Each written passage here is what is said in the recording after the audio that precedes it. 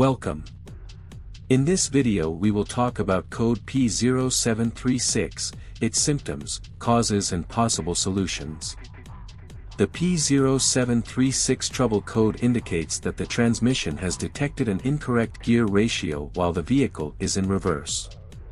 This code is typically found in vehicles with automatic transmissions. The Engine Control Module ECM, or Transmission Control Module, TCM, monitors the transmission's gear ratios to ensure they are within the expected parameters. If the actual gear ratio does not match the expected value for reverse gear, the code is set, and the check engine light, CL, is illuminated. Code Symptoms P0736 1. Check engine light, CL, illuminated on the dashboard.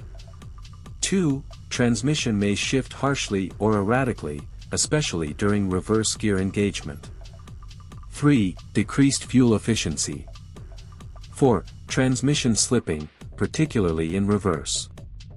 5. Vehicle may go into limp mode to prevent further damage.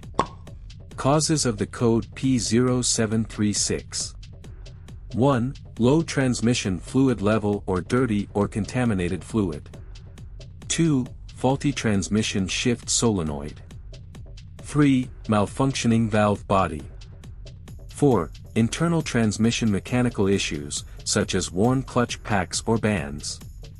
5. ECM or TCM software issues.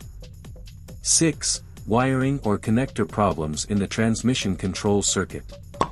Code Solutions P0736 1. Check the transmission fluid level and condition.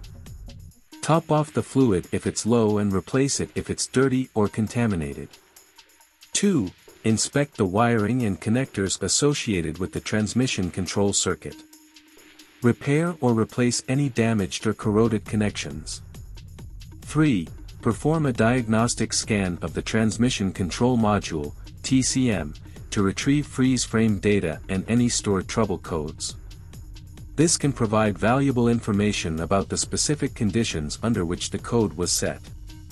4. Test the transmission shift solenoids and valve body for proper operation. Replace any faulty components as necessary.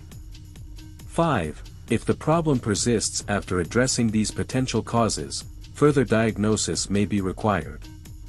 This may involve performing pressure tests, conducting a thorough visual inspection of the transmission components, or using advanced diagnostic tools to pinpoint the issue.